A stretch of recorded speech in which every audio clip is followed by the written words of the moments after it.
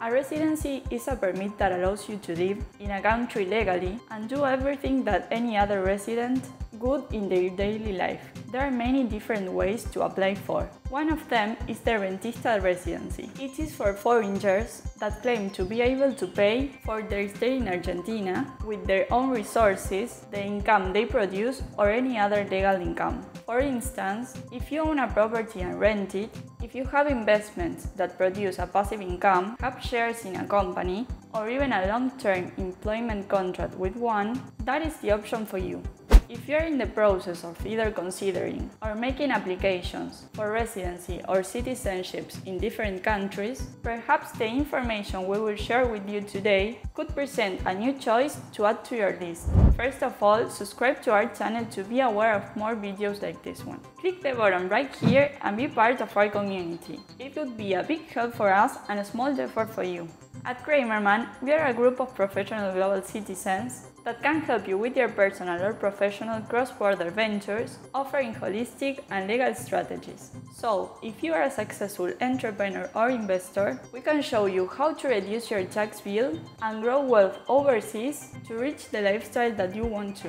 When expats think of moving to Argentina, a few different things usually come to mind. Tango, soccer, the first South American Pope, that is not all there is to Argentina. Diverse country with a growing urban population that has overcome its unstable political and economic past and its steady economy and peaceful political state make is a very attractive expat destination. People from almost 80 different countries can enter Argentina without a visa, provided that they are staying for a period of under 90 days. If you're planning on working while there or staying longer, you must apply for a visa of temporary residency. As we said before, it's highly popular to visit Argentina.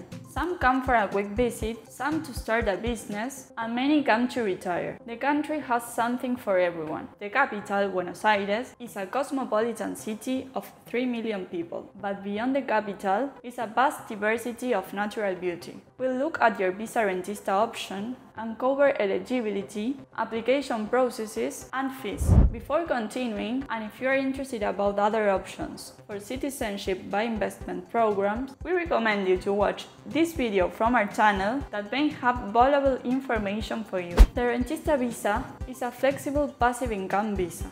To be eligible, you need to show three things. It is required to prove an annual income of at least 30,000 Argentinian pesos or $280 from a guaranteed source. It includes the applicant, his or her spouse, and children under 25 years of age.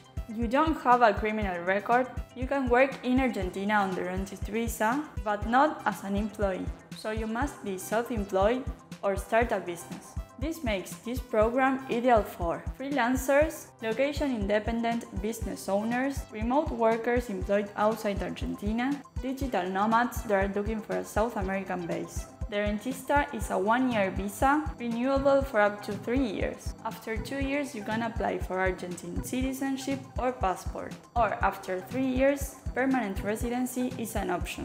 So, if you're looking to understand your option in greater detail or find out more about second citizenships, please get in touch with us today. At Creimerman, we help our clients from across the globe to make their cross-border ventures a success, and we would love you to be the next. In the description right below where you can get a 15 free minutes call with our founders. Just schedule your day and time or leave your comment. We are excited to know about you and we can help you to achieve your freedom. Thank you for watching and see you in the next video.